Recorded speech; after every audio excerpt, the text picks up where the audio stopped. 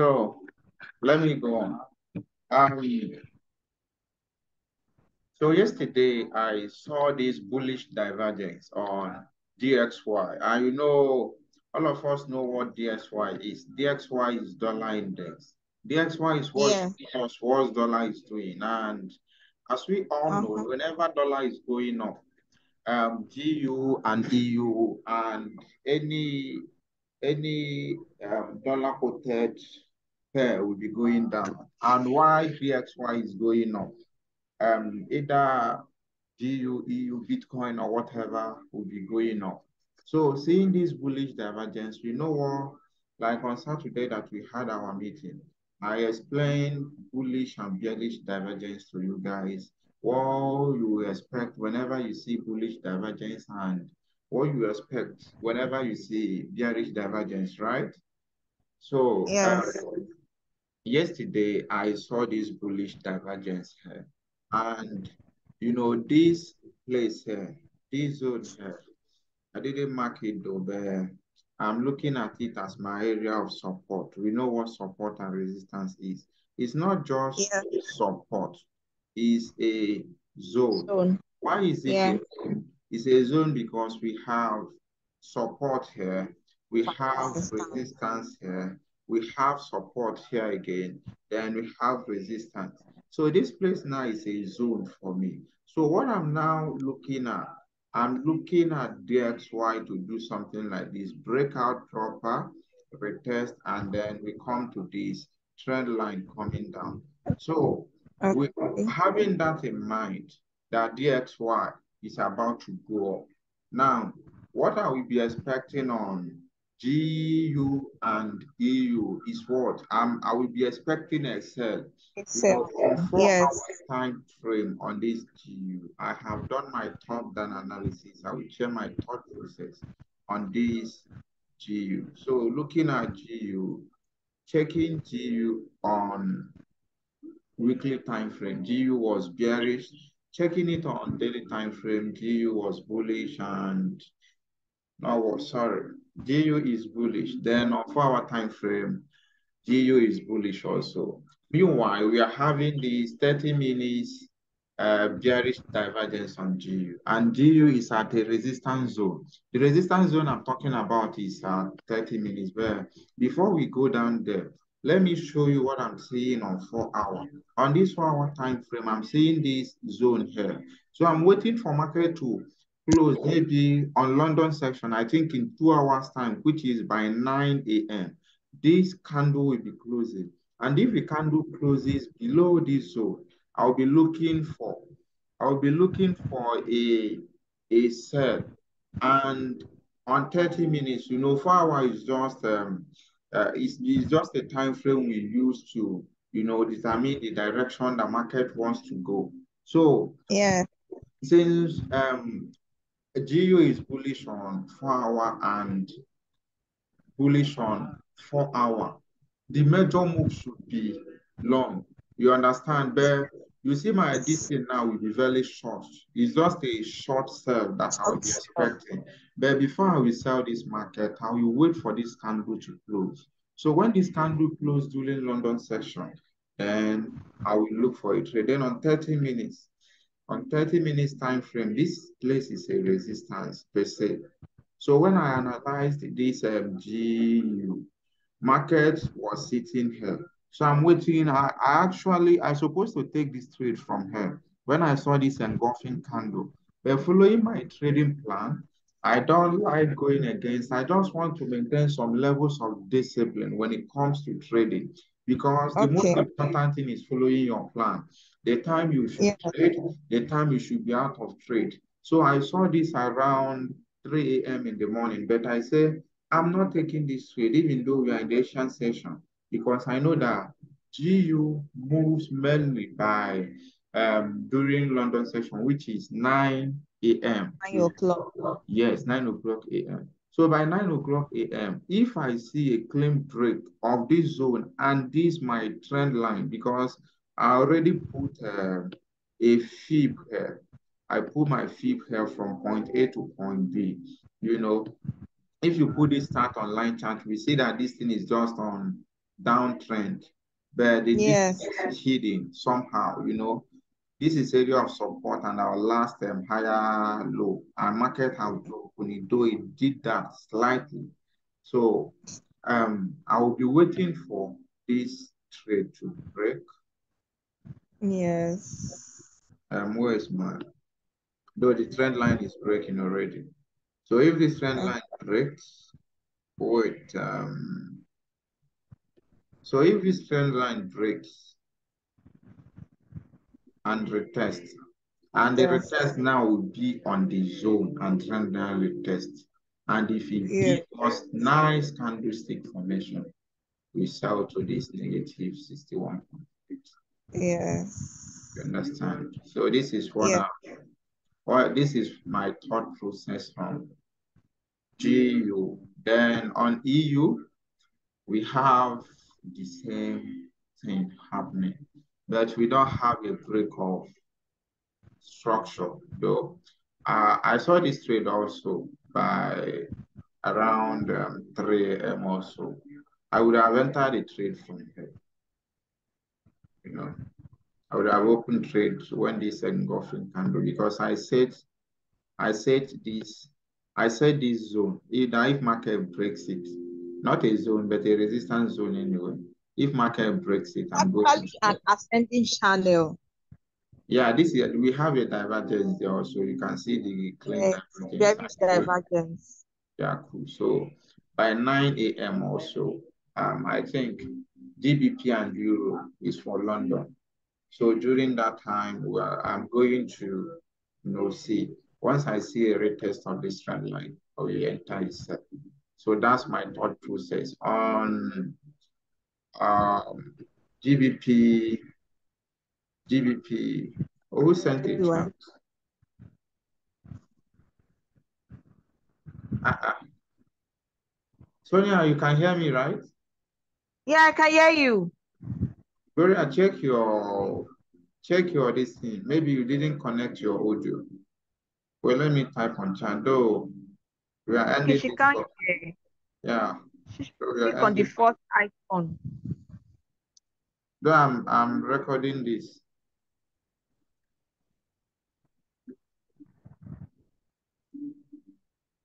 So on GJ, what I'm waiting for on GJ, you know, um, this is a trade yesterday. You know, on GJ, we have everywhere is bullish on GJ. Weekly is bullish, daily is bullish, hour is bullish. So I'm looking for a buy on GJ, you know, and yesterday, yesterday we have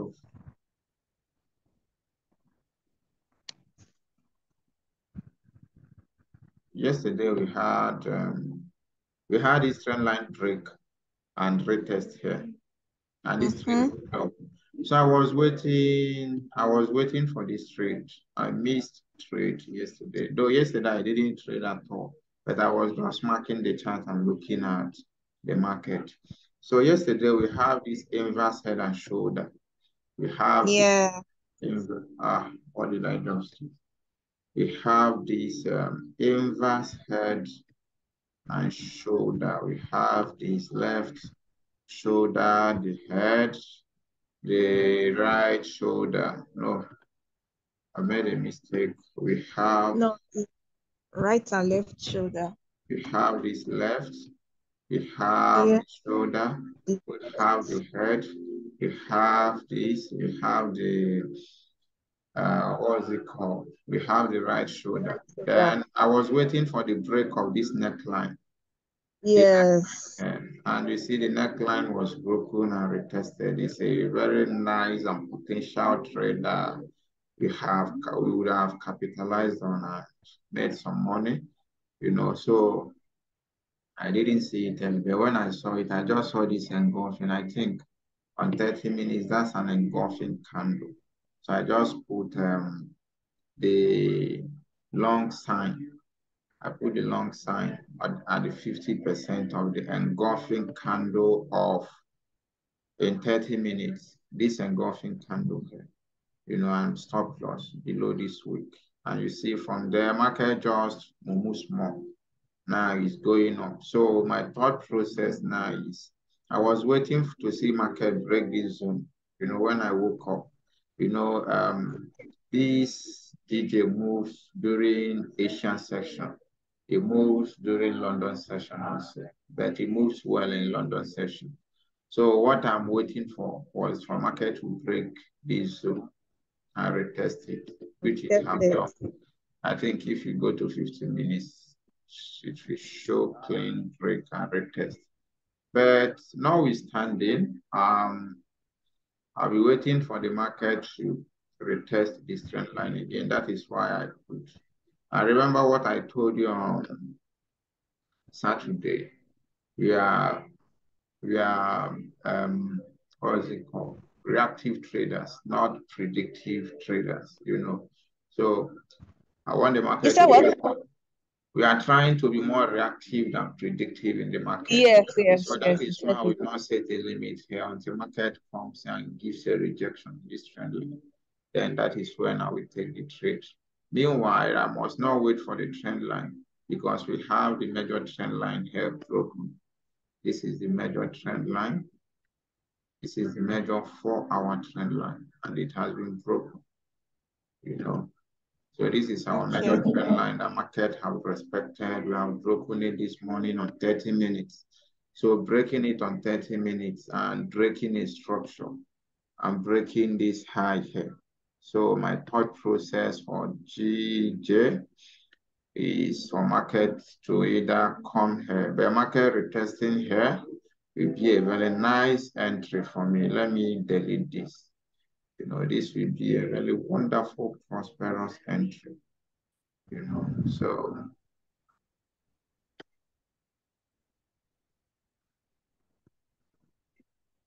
so this is what I will be looking for for the day. So I don't know whether any of you have a question or an idea, a trade idea that you are looking at, what you would like us to see pertaining to what you want to go over today. So thank you guys.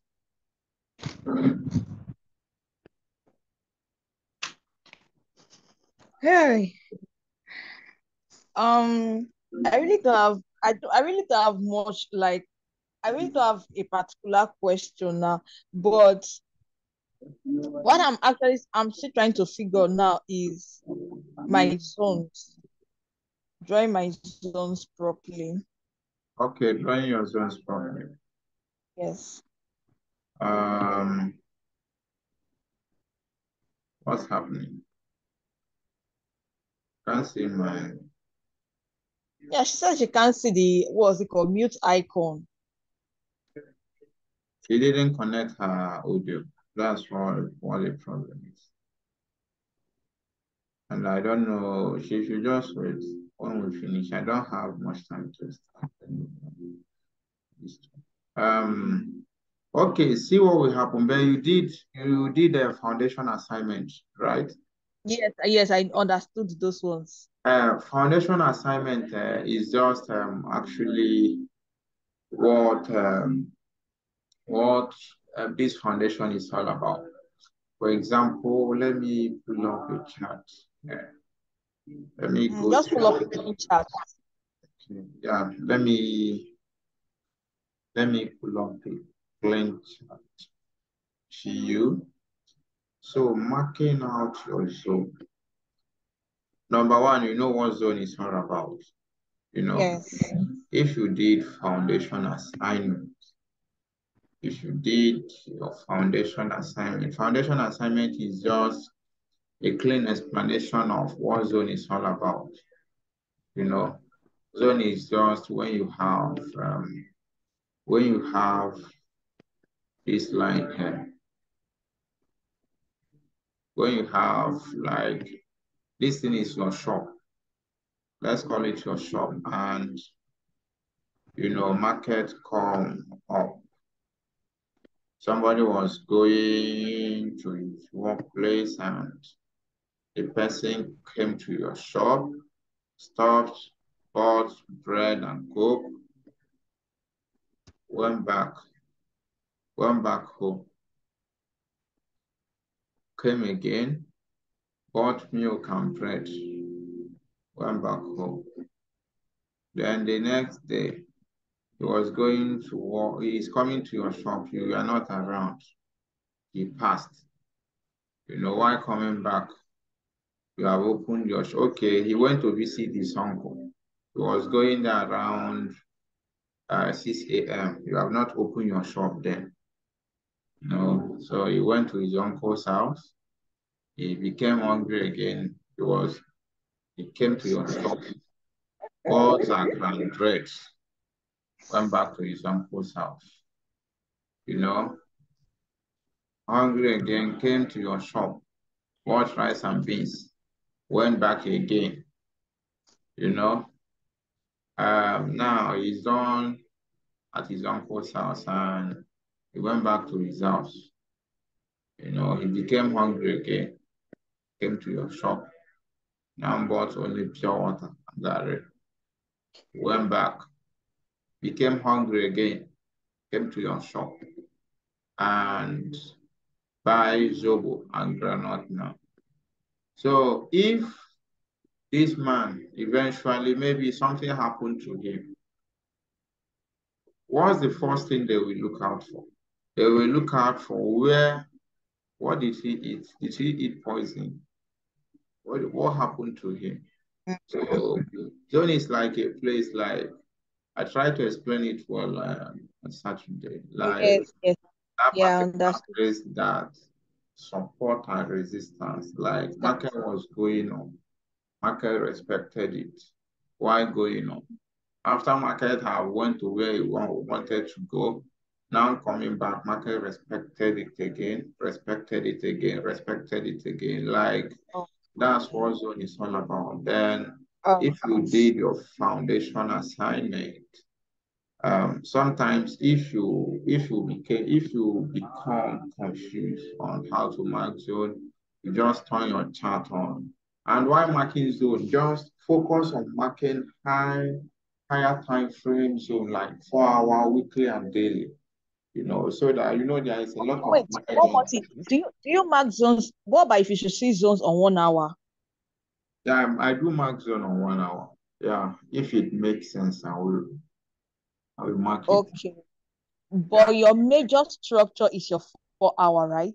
Yeah, four hour is where I will look at first. I will always I always wait for four hour candle to close before I now Okay. come to lower time frame. Okay. Okay. I think I'm fine. I think I'm fine. Yeah, you are trying. You are doing well. So Thank you. My my my my trade on USJ as in uh, I say USJ, UJ yesterday, USDJPY, it's played out so well. wow. It's So played out. um, you are on your laptop, right? Yeah, I'm on lap I'm on my I'm on my laptop, but it's not presently on. So what I what did you join the meeting with? I'm using my phone. Is trade TradeView on your phone? Yes, on my phone. Okay, just um share your screen and pull up the chat. Show me the Okay. TradeView showcase. All right.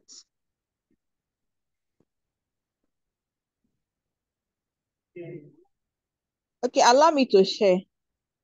You know, problem.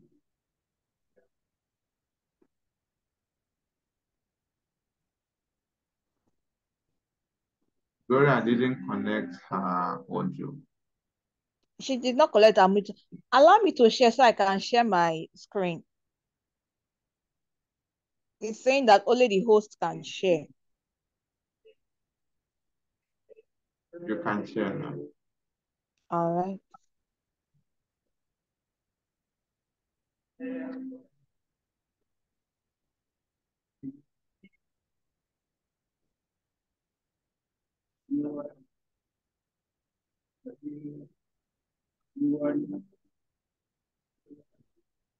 Hey, wait, so documents.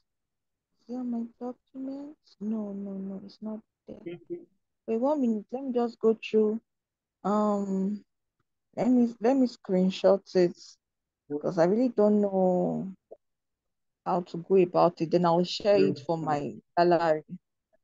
Okay, problem.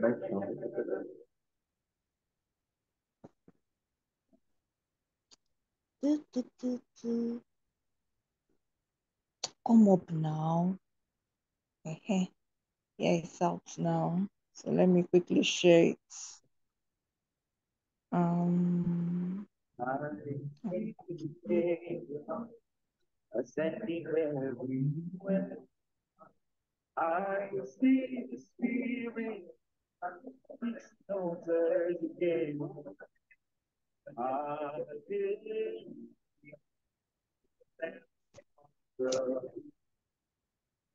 I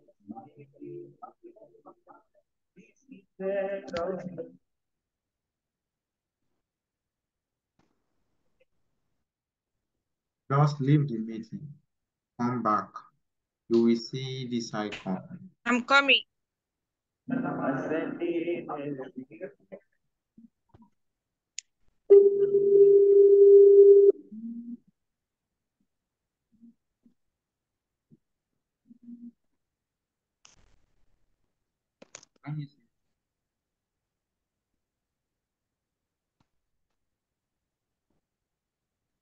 But after the class, I'm going to share it I'm properly. connected now. You I can just hear me screenshot now, right?